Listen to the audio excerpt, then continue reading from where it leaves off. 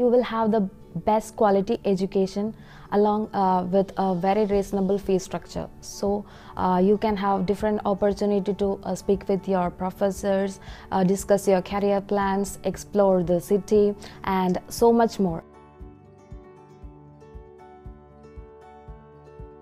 Uh, Sweden is very famous for its sweets, and I have tried cinnamon buns, uh, and it's really delicious, I must say.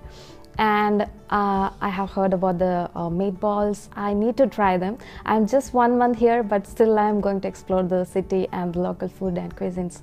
I'm looking forward to that.